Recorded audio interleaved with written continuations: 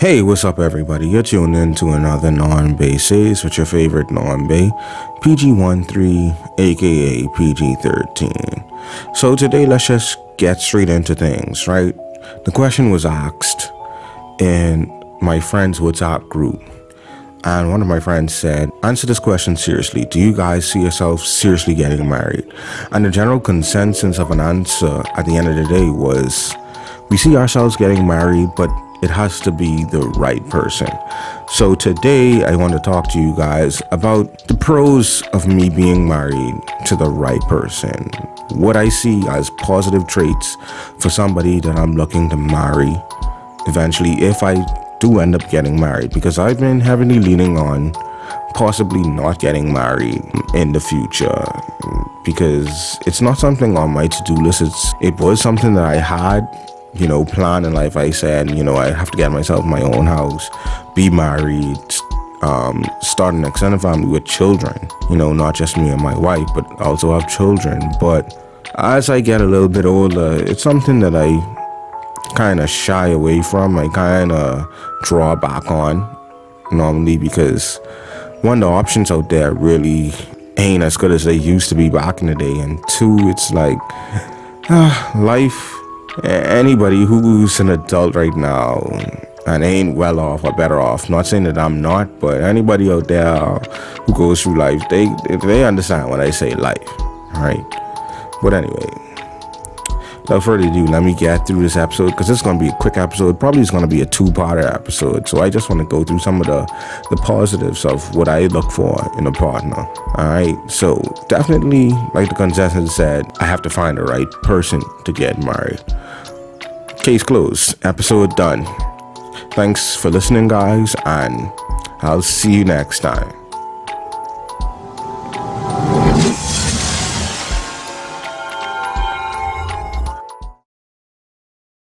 Yeah, of course that ain't the end of the episode, guys. Come on now. I have to explain exactly to you what would make the right person for me and how would I find this right person, right? Of course. Alright, so my first point is that this person has to be suitable for me. And I know that sounds cliche. It's like, okay, yeah, of course you would marry somebody who is suitable for you. Nope. Some people really don't do that. They don't take the time to sit down, to be patient and learn their partner. There are some people who are married right now for maybe 40 plus years, 50 plus years, and they still learning something new about their partner each and every day.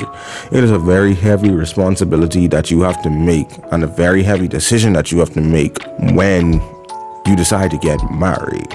Don't mind everybody around there getting married willy nilly, and that's not a taking a shot at anybody who has been married recently or who has been married a few years back and unfortunately possibly divorced or anything. This ain't sending no shots to nobody, but you have to really take into deep consideration who you marry. This is one of the easiest decisions to make in life.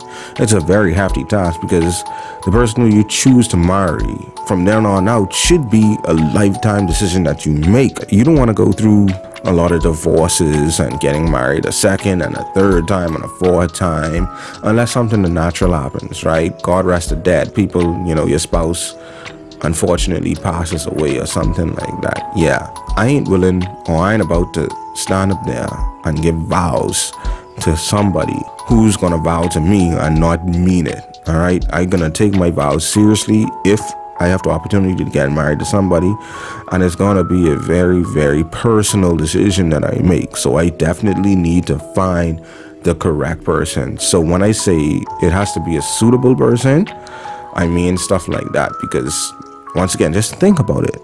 The decision that you make to marry this person affects multiple decisions you make over your lifetime if you guys are actually able to make it, you know? So I definitely gonna need somebody responsible, somebody reliable, somebody who's gonna hold themselves accountable, who's gonna hold me accountable for both of our actions, you know, somebody who I could rely on when things get tough. You know, that's one of the vows at a wedding in better or for worse, for rich or for poor, in health and in sickness. I've seen some examples where, you know, somebody got a little bit sick, somebody down, lost their job or something, and the spouse just skidoo. They out of there. at the first sign of negativity or the first sign of it getting tough. When the going get tough, the tough get going or whatever, you know? And it's like, nah, I ain't finna have that in my marriage because I'd be dumb if I, you know, marry somebody and she play me for Bobo the clown, play me for a fool, and ain't reliable. And someone who definitely got to be responsible. That's somebody who responsible and know how to take care of themselves already now. You know, simple as paying bills. Somebody who understands that they have to get everything down back, get everything right, make sure everything in place and in order, you know, because that's a big killer too. People who ain't organized and who don't have some type of order in their life, some type of routine going on for themselves. They just willy nilly and just go with the flow. Sometimes you need somebody on a more straight path. Definitely need somebody who's stable. Stability is a big point, you know somebody who's mentally stable, who's going to be financially stable, who's able to, you know, save, take care of themselves, and use resources properly. And somebody who's stable physically, somebody who cares about their health, somebody who makes sure stays in good shape, want to try to look good, and just regularly checks up on themselves. That necessarily doesn't mean that they have to have the best and banging body over everybody else I look at. But they definitely understand the importance of being physically well. So that's that's whether they want to exercise, make sure they put the right stuff in their body and make sure take care of their body, the foods they eat and all that stuff. Going back to financially stable, that's somebody who's able to save you know, somebody who understands that, you know, it's, a partnership. We could help each other out to build an empire where we split our own resources and, you know, go about these things. And somebody mentally stable who definitely is rational, somebody who has patience, somebody who will understand things from a practical perspective instead of just going on the negative interpretation of anything right off the bat. You know, definitely need somebody who's rational and practical. And definitely under a suitable candidate, a suitable candidate will be that I make would be based on um, decisions for the future, for our future. So if we decide to have children, I always look at certain things based on how I would make the decision if I had to explain it to like a five year old child or if it had to benefit a five year old child, you know, because when you get married, it's a process of two becoming one, you know, and I wouldn't want the person who I join with to think that it's only me in this lifetime commitment together, especially if we have things put together after we make this bond, such as children. You know, I don't want somebody where if I fall ill, that my children wouldn't be taken care of because the person is incompetent. That wouldn't even be fair to me. That wouldn't be fair to my children. And it definitely wouldn't be fair that the person would feel like, well, you's the one leading the household. Not saying that I don't want to lead the household as the man. Of course, I want to lead the household, and I will define my roles and make sure I be that person to make sure everything is, you know, in place and everything is taken care of. But at the same time, I need a partner to help me to make sure when I make these decisions, it's the both of us in it together. So I just wanted to touch on that. Definitely, I need somebody who's able to compromise, who's able to see things from various perspectives everything won't be peaches and gravy all the time. I need somebody who's to understand, like, hey, I got to look at this from this angle, look at this from that angle, look at this from that angle, and be a problem solver and understand that, okay, even though it seems like something might be going bad, I won't get hot headed and blow up at the first sight of danger, at the first sight of things going turn it into a wreck. Let me just sit down, be patient, figure it out, and let's talk through this and get through it or whatever. Whatever may have you may be decision. Now, if it's something that is drastic enough where you know they might just go off on a on a limb or something, it's totally understandable because me myself, if it's something obvious like that, then I'd be like, yeah, that don't make no sense, you know. But at the same time, you need somebody level-headed somebody who's able to look at things and make a conscious decision to say, hey, I sat down, I slept on it, I think I thinked about it, or I thought about it, sorry. And this is the best decision to move forward from here on out. Another point that I have is intimacy. And for me, intimacy may not seem like the average perspective or the typical perspective of definitely a man in a romantic relationship. I just want somebody who's who wants to be there with me, who wants to spend time with me, honestly.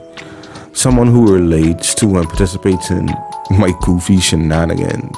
That's simply it, honestly. I kind of like companionship more than physical intimacy, honestly. And I know that does sound weird coming from a guy, but and that's not to say that I definitely wouldn't give my wife physical intimacy, because I know that's definitely a very, very strong factor in a marriage. But I feel like if we mesh together and we click and we have that chemistry, that matters the most, in my opinion. So, future wife, if you are then listening to these points, that's definitely a strong point for me, you know? Physical touch isn't really a, a, big deal to me. I definitely will do it with my wife because, not because it's a routine thing and it's something that I know I have to, it's something I will definitely enjoy with my wife once I have her. And hopefully she'll enjoy it with me also. But I pray to the Lord that we'll be on that same wavelength where, you know, we just enjoy each other, have enough of each other, even if that physical touch isn't there. And in terms of physical attraction, well, she's got to be thick. nah, nah, I just playing. I like what I like, you know. Physical attraction is the last point on this list, honestly. It still matters. But at the same time, there's various body types that are attracted to me. I don't even think I have a real physical body type that I'm attracted to. I really, really, really care about a person's soul, that personality. Once again, how responsible they are you know, how much sense they make it. So when it really comes down to attractiveness with body type and stuff like that, once you look decent and once I like looking at you, once I attracted to you, once I really want to just snatch you up, hug you up, if you sleeping late at night, you know, I roll over and I just wrap my arms around you. Or when you put on that little special dress, I look at you with lust in my eyes, bite my lip, and we go to Pound Town, whatever may I be. you know, uh, this ain't after dark hours. Let me let me calm that down. But I know this was pretty quick. I really could go into depth a whole lot more with this episode, but like I say, this um, the next additional episode that I do is going to be like some of the cons of what I don't want in a partner for marriage. But overall, I think I think marriage is a viable option for me. Unfortunately, I haven't found the right person yet, but I strongly do hope that I find somebody I don't want to say in the near future, but in the future, somebody who I could really sit there and say, wow, she definitely is the one. I think I can make this decision. I think I can make this leap and make a lifetime commitment to that person. Are there any candidates out there right now who I might be looking at? Hmm. I ain't an American, but I plead the fifth. I have a right to remain silent on that. So, anywho, that's just in my thoughts, my takes on this. Um, hopefully, guys were entertained. Hopefully, guys, you look forward to the next episode, the continuation of this whenever I do this. Let me know your thoughts on marriage. I know a lot of people lately ain't really into marriage and they feel like it's not a plausible thing to do. You know, they have their various reasons of why marriage really ain't a successful thing to do or it ain't a sufficient thing to do like it ain't something to do on your to-do list. And that's perfectly fine too. So just let me know your thoughts. But otherwise you know i hope you've been entertained once again. Thank you for listening. Once again this is your favorite non-bae and definitely i'll be coming next week with another interesting topic. Very very interesting topic based on what's happening now in my part of town so you don't want to miss it. Thanks for all the support so far. This has been your favorite Bae, and I am once again signing out. See you next time.